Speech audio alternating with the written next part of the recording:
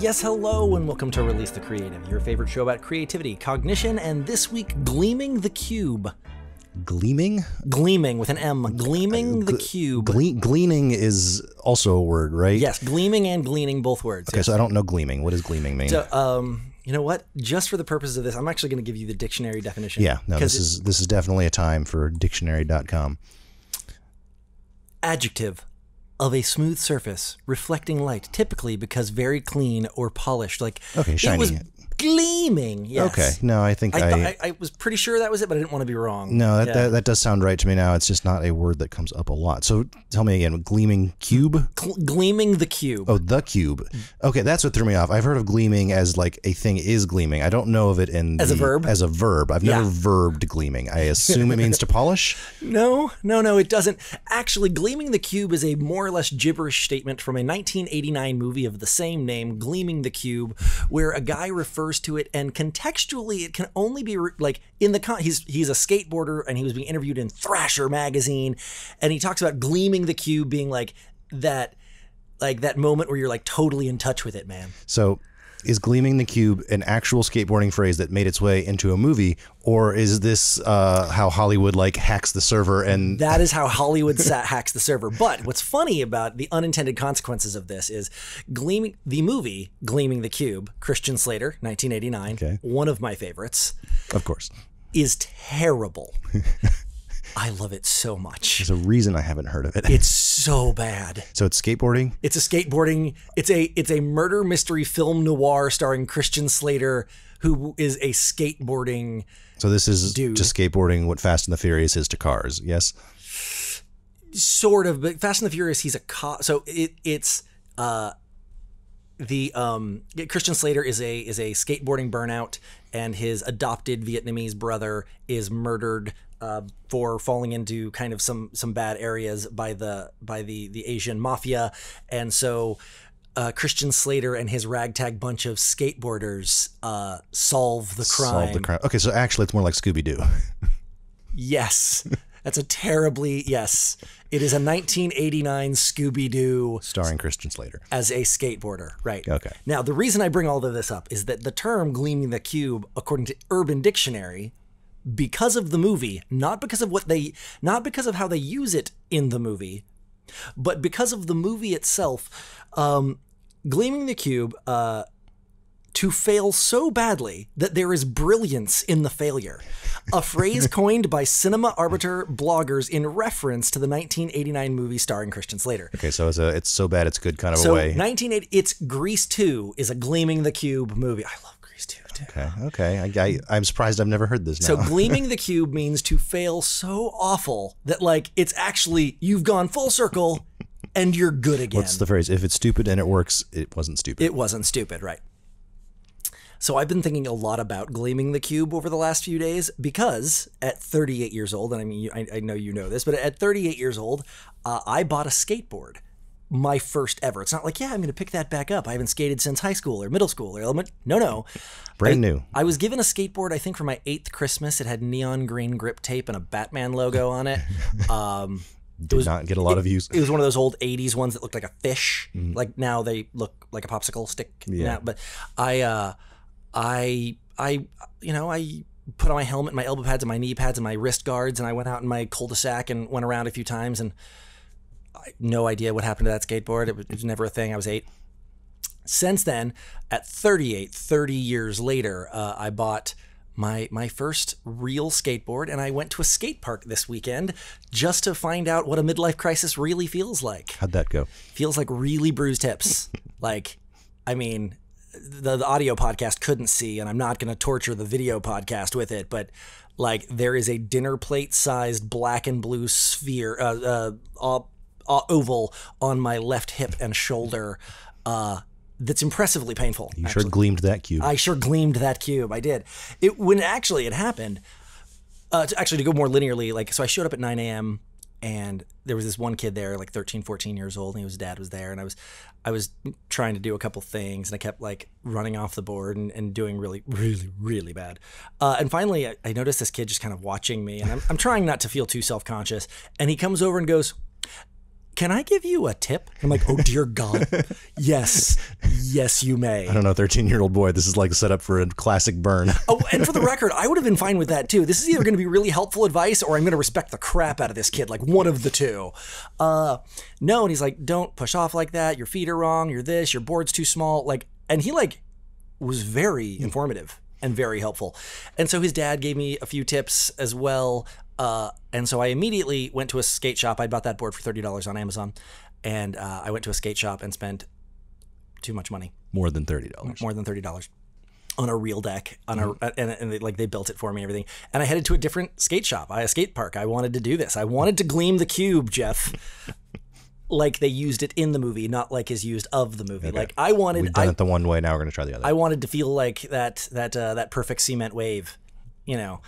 Uh, and I get there, and the first the first skate park was more like a tennis court with some ramps on it. The second skate park was more like manufactured cement. Uh, like there was a pool there, like a big empty pool, and big cement. Like nice. uh, it's really it's a very nice park actually. It's actually near here, which I didn't know. It's pretty awesome. First park, one person. Second park, 18, 20 people. It was it was a it was it was a crowded ish day, and I went. and I'm like, I'm not gonna. I think the oldest person there was probably 18. The average was probably 13 to 16 ish.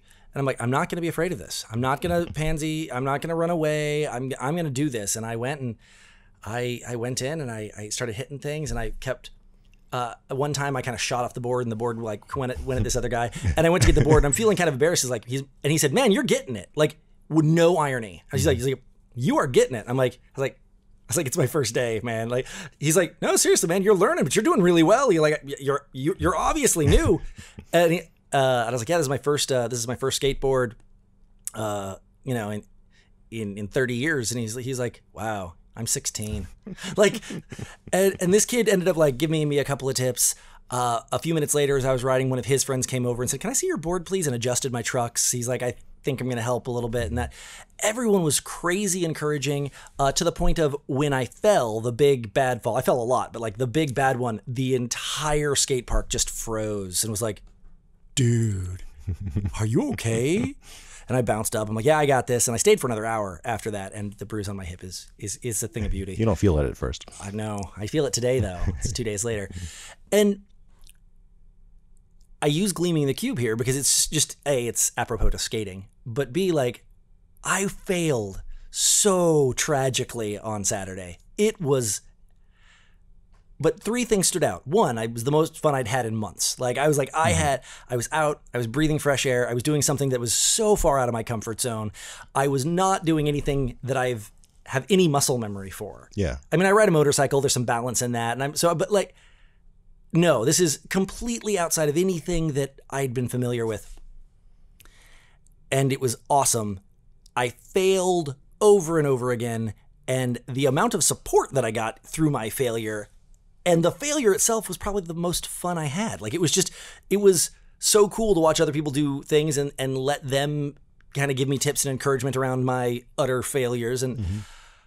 And so I, I got back and I was like, I started Googling Gleaming the Cube because I hadn't seen it since like 92, 93, and I loved that movie growing up. And I found out that it actually has come to mean in certain circles to fail beautifully. And I'm like, it's like the perfect allegory here. That's what you did. I did. I failed beautifully. And I'm going to keep going and failing beautifully till I stop failing at it. But that's another story. I thought you were going to say you looked it up and it turns out it was all a fever dream and the movie never existed. you know, that would be one Mandela effect that I would mourn. like, you know, the movie Kazam or Shazam or not existing, whatever. The Berenstain Bears, I can get over. To find out that I imagined Gleaming the Cube would be, mor- I would feel the weight of that loss. that would be pretty tragic. that would be tragic. You should watch it. It's terrible. Is it available anywhere? Good question. I remember uh, a movie from my childhood that was surprisingly difficult to find was the uh, Dave Thomas, Boris, and Natasha movie based on Rocky and Bullwinkle. So That one's hard to come by. it is not available on Amazon. Like it's listed here, but it is you can't buy it. Uh justwatch.com. This is going to involve a uh, VHS tape sent from Europe. I Uh, didn't know that I needed this to happen, but now that I have found out it's not just like click here. Oh no, this is going to happen now simply because I'm on my fourth website now and it's not available anywhere and I am not going to let that injustice stand. It- So- Tony's Tony Hawk plays a role in this movie. once you get this, it's going to have to go on your Tuesday night podcast. Yes, right? my Tuesday. If you guys are unaware of my Tuesday night podcast, uh, uh, uh, Reels in the Round with Ronan and Kirk, we do a movie podcast every Tuesday night. Um, no, I am. I am. Un- I, I'm not okay with this. Yeah, there's some there's some weird black holes out there. I found movies that like you can only get from like the 1992 DVD if someone still happens to be selling it on eBay, and other than that, I can buy nowhere. it from. I can buy it from Walmart. That seems suspicious. It says that it's on Walmart.com DVD only. Nowhere is streaming it. I can buy I wonder if they make it. Check this out. I can buy a used copy off Amazon for fifty dollars. That's a collector's item. This might be happening. I'm embarrassed to say that I might spend fifty dollars on a nineteen a, a DVD of a 1989 Christian Slater film. We'll keep uh, digging. What you need to look for is there some sort of like Christian Slater box set because maybe you can get every Christian Slater movie for not much more than fifty dollars. For the record, like two movies later was his movie Kuffs, which is probably one of my favorite movies of all times, but that's a different story. Um, no, and so I bring up this not just to say that I I have a bruise the size of a dinner plate on my hip, but to say that it made me think of the story that everyone every Steve Jobs fan tells too much of of the calligraphy of how he dropped out of Davidson College and or, or unenrolled. He you know he didn't drop out officially, and so he dropped in on a calligraphy class. Uh, he was feeling just uh, kind of lost and bored, and he didn't know kind of what was going on. So he went and he took calligraphy uh, calligraphy from a uh, from a a monk. And a decade later, a decade later, when he was at Apple and they were creating the first graphical user interface, and they were creating the the, he remembered how much he'd loved serif fonts and sans serif fonts and le- leading and kerning and stuff. And so instead of just creating, I mean, word processors had existed for over a decade at that point, but they were all just typewriter or very simple dot matrixy font. He wanted to do fonts, and so he put in a couple of dozen fonts, and that blew up. And then uh, Microsoft came and copied everything, and so now thousands of fonts is a thing, and it might sound overly simplified. We might have gotten there anyway, but the reason what started that ball rolling is that Steve Jobs took a calligraphy class. The man was in computer development. There is no logical reason to take a calligraphy class. There's no there's no reason, there's no good use of time. Yeah, this is like in your uh, book. You have the chapter about the guy who told you not to go to film school. Yeah. uh, but then you went to film school. Right. But ignoring that little issue, the advice And for the record, I shouldn't have. I should have listened to him. the advice was to uh, learn things outside of your sphere because yeah, you don't know how they're going to interact. Well, and you don't know how they're going to act, but even even more so, there's this big push right now, and I almost want this to turn into a flame war in the comments. So please, I kid you not, come at me.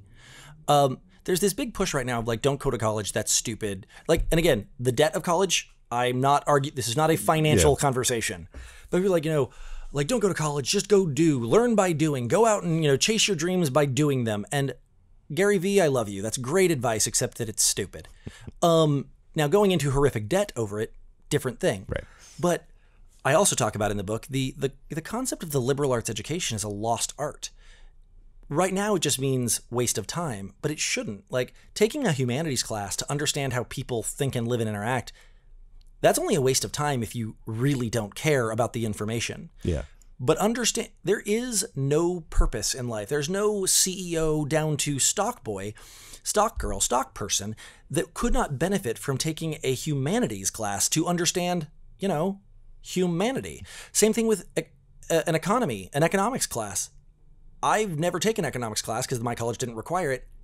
I don't work with money. I don't work, but I would be well served by having some better understanding of, of economics Yeah. college i think is really misunderstood in general and this isn't what today's thing is about but it's about we should always be collecting diverse and crazy you know and crazy experiences to add i understand that i just followed up steve jobs dropped out of college to take a calligraphy class. Everyone should go to college. I, I understand that there's a The, the, the story is he dropped out of college and then went to a class. Yeah, so like- that's still a essential part of the story there. yes. I did the exact opposite. I went to a school that was I got a bachelor's degree in under two years, hyper focused, hmm. no fluff, long days, no breaks, no summer, one week for Christmas, one spring break. Like it was a it was a A march. It was a march. I got a bachelor's degree in less than two years, no fluff, just go. And at the time, that sounded brilliant. And I was like, yeah, let's not waste any time. I know what I'm doing. And I got out and I was like, I knew how to take apart a camera blindfolded, and that is not a you. I really could take apart and reassemble a 35 millimeter film camera blindfolded. Less than five years later, we would not be using cam- uh, film cameras in film production anymore. Yeah. I could, I went into a dark room and I could do an entire photo series in a dark room in the pitch black blindfolded. That went away almost immediately. By the time I finished film school, that class was no longer offered. Offered. Yep. Yep. Yeah. But humanities or or other things that would have film theory. I didn't take a single. I went to film school. I didn't take a single film theory class. They're like, you'll figure it out. Uh, everything was technical. Everything was was pointed. And so I got out and had nothing to say. But you find out, you know, as we start to, uh, you find out that creativity, the definition of creativity, is misaligning memories, is taking things that shouldn't work together and putting them together, and and trying new things and trying new combinations. You know, strawberries and bananas aren't from the same area, but strawberry banana is a flavor that's, you know, awesome. They work together. Someone thought of that one day. It's now ubiquitous, but it, the first time it wasn't. Yeah. Uh, so, gleaming the cube has become my new favorite phrase, not just because I'm learning to skateboard and it hurts, Jeff. Moving hurts. But because the movie failed, but it's so good. And I failed, but it was so much fun. And we shouldn't be afraid of trying crazy things. And I understand that that's misusing the, that's like not quite what Gleaming the Cube means in the context of bad movies. But it's, we should always be enduring to try new, bigger, better, crazier, harder things and things that people are like, dude, that's a terrible idea. I know, right? But what if it worked? Uh, my last little movie anecdote to this point of uh, there's a movie I want to say you know it's it's it's The Rock and Kevin Hart, but that doesn't actually narrow it down these days. Happened more than once, hasn't it? It's the it's the CIA movie. I don't know the name, but I know which one you mean. Yes. Anyway, he's uh he's like he's like okay, I got a he's like I got a great idea. Probably not going to work. Probably going to kill us both. But if it hey, but but if it works, it's going to be a dope ops uh, story. You in? No. Okay. And they go for it. He's like, I said no. I said no. And it of course works. But whereas it's meant to be funny in the movie, I think we need to all in a very very real way. Hey, let's try this. It's probably not going to work. It's going to fail miserably. But if it works, it's going to be a dope story. Yeah, that was uh, when I was a kid, and it was like you had to like jump off the high dive board, or you know, so, something Yeah. that was a little scary. But like Yeah. you climbed up there, you knew you had to do it. The uh, the little mental thing that I would do, I'd get to the edge of the diving board, and I'd be like, should I do this? Should I not do it? And I would jump and say, well, too late to decide. and like that was like a, a thing I did as a kid with things that would like make me a little uncomfortable or scared, or you know. Yeah, you really jumping off any height. It only you only have to make one very, very, very small decision. The rest is just made for you. but uh, it was it was difficult to decide to do it. So like I skipped it. Like so I, I, that's a weird thing to say, but like I made myself jump without deciding. I made myself jump while I was still considering it. I like that. Uh, like I was like, That's an interesting mental hack. I'm gonna jump, then I'll think about it. And then I was like, well, now I don't have to think about it anymore. Problem solved itself. that it, it's um oh hold on. Amazon five film collection. Liars. it's not in there. We'll keep looking. We're gonna keep looking for Gleaming the Cube, but We're uh, also going to take a quick break, and we are going to be, if I can push my buttons right, we'll be back in just a second.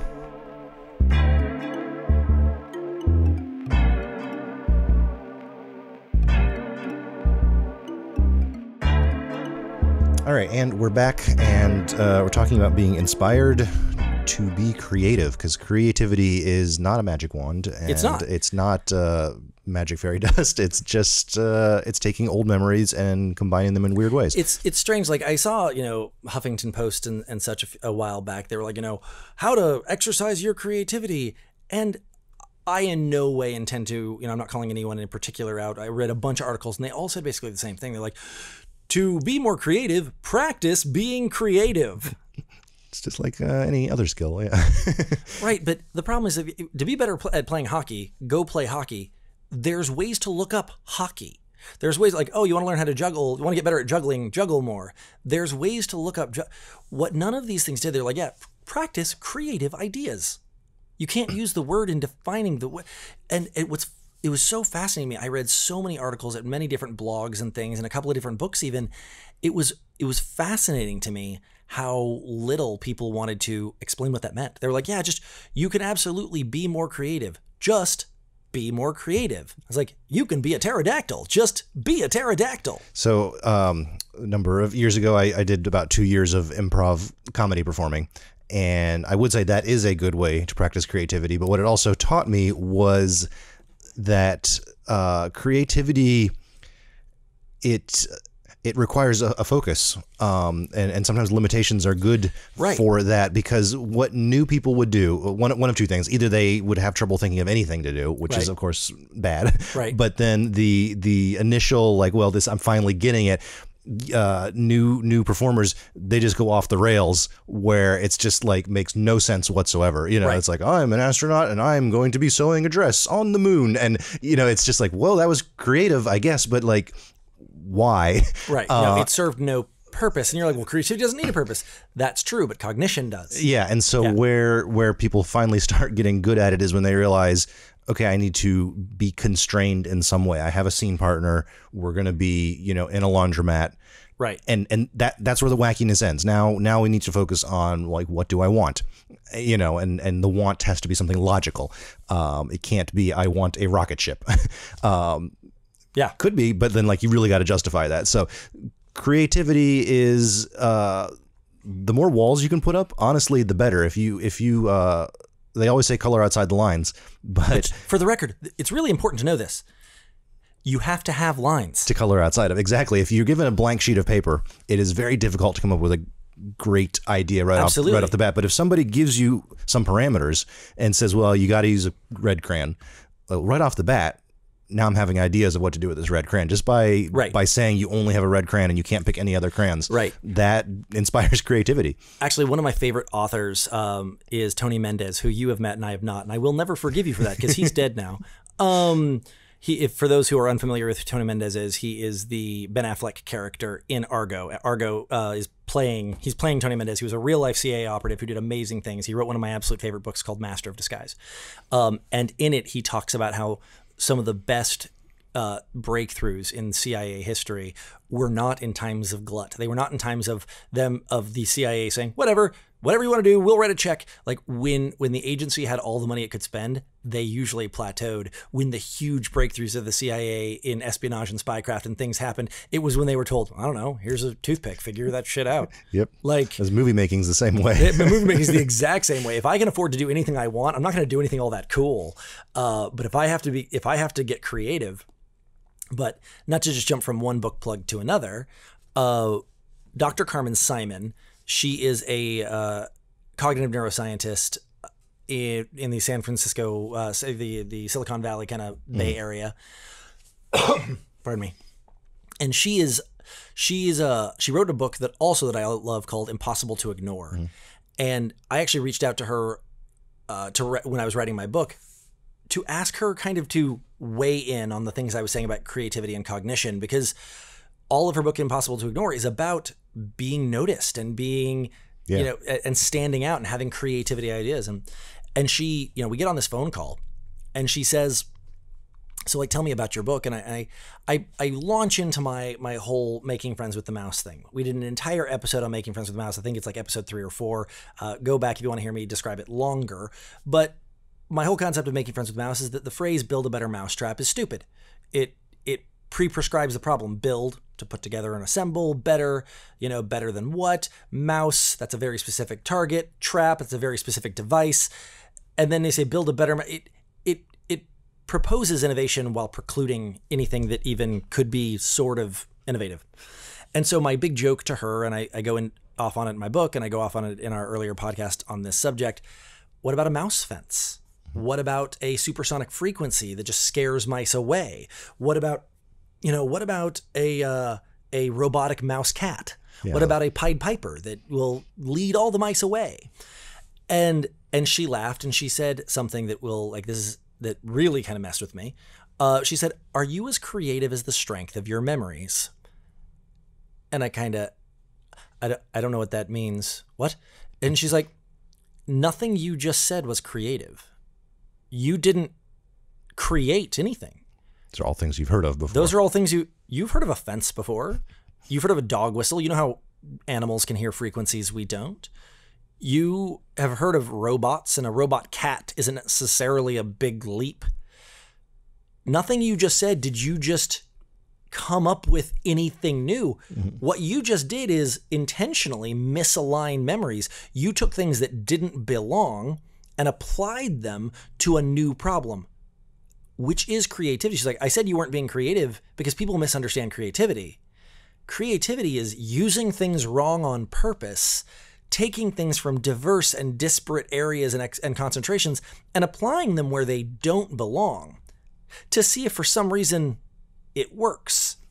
Are you uh, familiar with the TikTok trend I've seen with the baby toy with the blocks?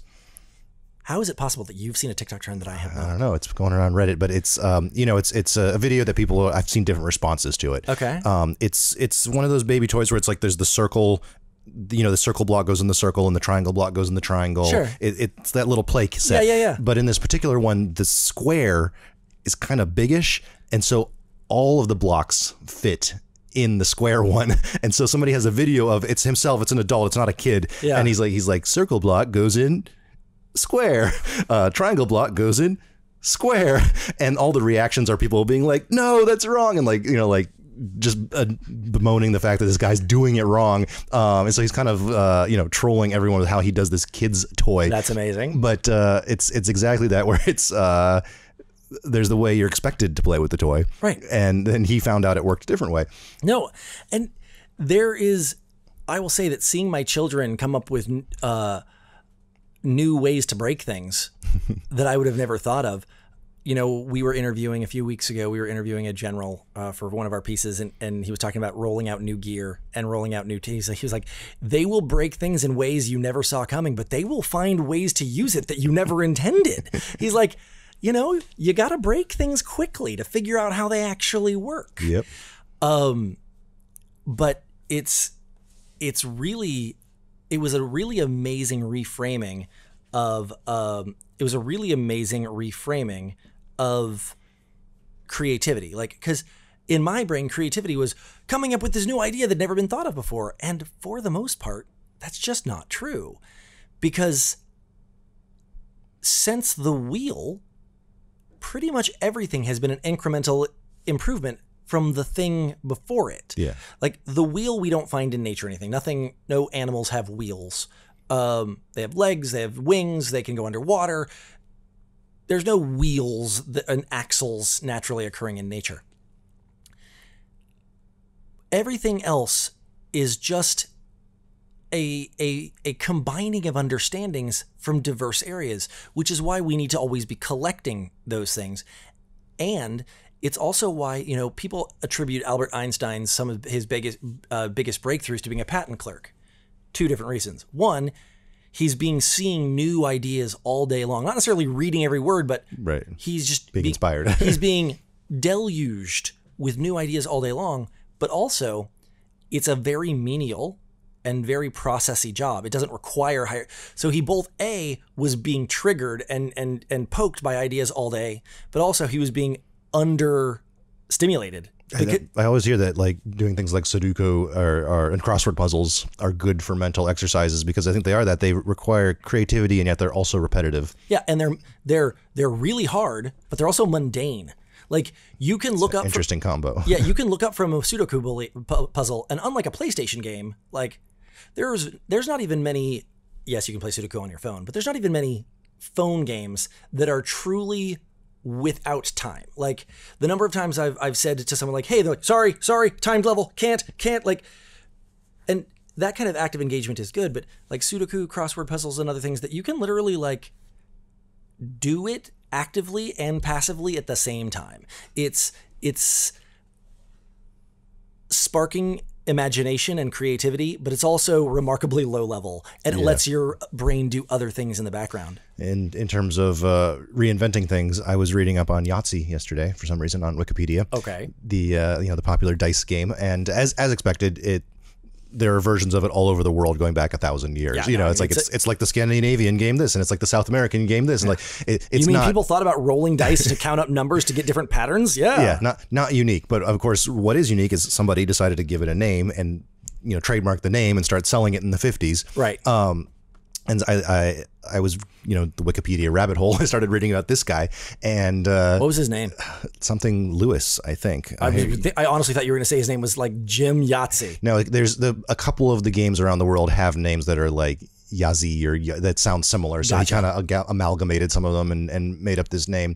Uh, oh, this came about because my um, cousin who lives in Texas sent me a picture of uh, you know Hasbro owns owns Yahtzee. Sure. Um, he found a non-copyrighted dice game with a picture of a boat on it. Yacht. S E A C. Yacht C. The game Yacht C. The classic dice game. no copyright issues there.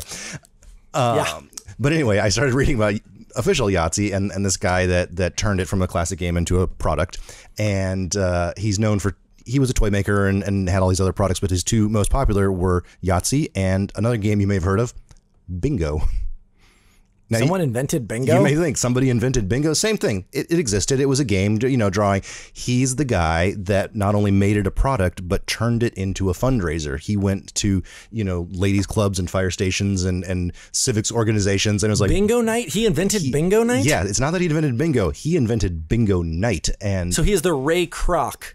So like, yes, you know, Mc- the Ray Kroc of board games. Just because the thing is, like, everyone like attributes Ray Kroc to like inventing McDonald's. No, he didn't. McDonald's brothers invented McDonald's. Yeah, he just but, like blew it up. He just blew it up and invented the franchise. So that's what this guy did with with classic. So same thing. You're saying did did he invent anything? No. Both of those games existed. Both of them existed. But there are thousands of ancient games around the world. Yeah. He turned two of them into super popular. You know, he he packaged them Hey, basically. you gotta have a marketing person in your life. I'm just saying. if you don't have one, our numbers, uh, you know. And my favorite part at the end of the article was he had many other things in his life. He opened a, a hotel in Las Vegas in 1962, I think, Mm-hmm. um, which was notable. I think at the time and maybe ever, it was the only hotel in the state of Nevada that did not have a casino in it, which just was okay. So the Seemed guy, like a lost opportunity on that one. the guy known for bingo and Yahtzee, a dice game and a, a gambling money raising game, he didn't put a casino in it. So like, I need to learn more about this I, guy. I got it. Like this What guy is working, there? firing on a very different set of cylinders. Not less cylinders, not more cylinders, just a very different set of cylinders. There must have been some some brilliant idea behind that that Wikipedia did not cover. Like, I wonder if he has an autobiography or something because it's you know the the- man that invented bingo and rolling dice. Not invented, but you get my popularized. That's amazing. That's really funny. No, and it's you know, we we talk from the very beginning through here, you know, to gleam the cube, to fail beautifully, and that there is true beauty in failure. There's true beauty in putting yourself out there, whether or not it works. Because the beauty is in trying it. If it worked or not is is is a completely separate thing. Yeah, um and sometimes the failure is fun and and doing it better until you stop failing is awesome. And then you you know learn these things learn different things learn disparate things learn and apply new things to all of this stuff. And that's what creativity is to go back to the very top where we're saying you know these these people say you know practice creativity like uh, what does that mean do something wrong on purpose I'm a project manager. I'm a project uh, managed professional. I've done, you know, I've done this exact same show 1500 times. I've done the same building, the same Okay, then do it differently. Well, this is what works best. Okay, cool. Then do it differently. Yeah. Take something low risk, something that you know how to do, you know how to fix it if something went wrong, and do something crazy. Just like you said, just do it and it's too late to decide now. Just do something crazy and figure out how to fix it when you break it, and see if you can't, you know, break it good, because that's creativity. And it. Last book shout out of the day. In Adam Grant's book, The Originals, he talks about how and I won't get into how they measure this, but it was really fascinating. So read Adam Grant's books, The Originals, or uh, uh, Originals: How How Nonconformists Rule the World, Change the World, something like that. Anyway, he talks about um, how when you test creatives, when you start looking at the creativity of people, it can easily uh, one of the things, one of the easy early earmarks is do they use Internet Explorer slash do they use Apple Mail slash do they use um, a Microsoft like Outlook Express, uh, Microsoft Outlook. Is, the point is the built-in thing, or did they find some Yes. new tool? No, no. If they use the tool that came standard, chances are they will have a low creativity index across other measured things. And it wasn't, they aren't related, but it's an indicator Yeah. because people are like, oh, I clicked internet and Internet Explorer- opened up. Those people have never, truly, those people specifically in this case, have never tried anything else ever because there is no metric on which Internet Explorer was better at anything. But, you know, whether you used Firefox or Safari or Chrome or, you know, why would someone use Safari? And Safari has its merits. It's not Internet Explorer, but it's, or, you know, the mail program or the uh, Microsoft Outlook. It's, So I'll give you the the counterpoint to that. And I know you're talking statistical averages, I'm talking statistical averages, but uh, not not to brag about myself, but I'm going to compare myself to Steve Jobs here. Yeah. The uh, I believe I use the built-in Mail and Safari for the Yeah. same reason that Steve Jobs always wore the black turtleneck and the the blue jeans. Yep. Which was it's one less thing to think about, so now I can focus on something else. And you know what's really funny is I just read an article today about Mark Zuckerberg has has taken only ever wearing a gray uh, a gray T-shirt. Same reason. Just- Yeah. it's just like, and there's something absolutely none of these things are. No, no, you use Safari. I read a thing. You're not Yeah, creative. But it's a it's a, a data point. Yeah. it's the are these people those that take what they are given or are these people that find what works for them? Are these people that operate within the system as it is prescribed to them or is it the people that find a way to make the system work with their system? Those are the creatives. And those are really really low. I i have a real struggle with mail programs you know. I download a new one every 6 months because i hate all of them. Um but could I just double down and, and get used to it and start working with this? No, I'm going to keep trying to figure out one that works Yeah. for me. Uh, there's absolute merit. I put a lot of time and effort in the failure of my mail programs that you just you don't. You make the the the Steve Jobs one work. But all of that is kind of irrelevant to the general point of that's what practicing creativity means. Try using a different tool. Try using the wrong tool on purpose. Everything can be a hammer if you hit it hard enough. Yeah, no, I'm a, I'm a weird example to use for myself because I use Safari and Mail. Yeah. I have every alternative on my program on my computer for Yeah. various jobs. I'm like, Right. well, for this one I need this one, and for this one I need that one, and like, Right. I'm using all these programs all the time. But uh, Yeah. when it comes to just my time, like I don't want to think about it. No, and again, gleaming the cube, practice failure, practice creativity, and not in some practice creativity by being more creative. No, practice creativity by finding something that you know is not going to work and do it beautifully. Gleam the cube, which I just, by the way, found on eBay for 1997. It'll be here Friday. We'll talk about that next week. Okay. Thank you all so much. Uh, this has been Release the KREATIVE, and we will see you next week. Thanks for joining us here at Release the KREATIVE. Kirk here would never say it to your face, but he thinks you should like and subscribe to us on YouTube. And Jeff is far too shy to admit it, but he thinks you should subscribe to us on your favorite podcast reader. Yeah?